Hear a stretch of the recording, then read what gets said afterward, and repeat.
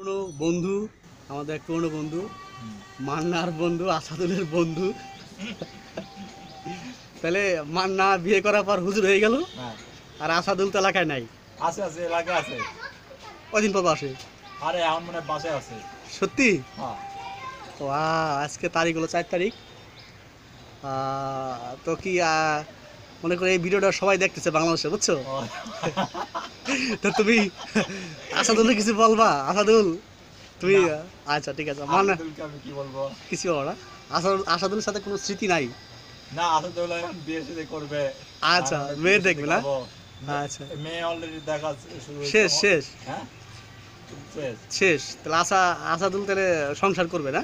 হ্যাঁ এখন সংসার করবে। আচ্ছা আসাদুলের বন্ধু মান্না তো বিয়ের পরে হুজুর হয়ে গেল। ও কি হ্যাঁ। হুজুর হবে? হতেও পারে যেহেতু সবাই কবরে যেতে হবে। আবারও কোনো একটা মুহূর্তে দেখা হবে দোস্ত। আচ্ছা। ওকে।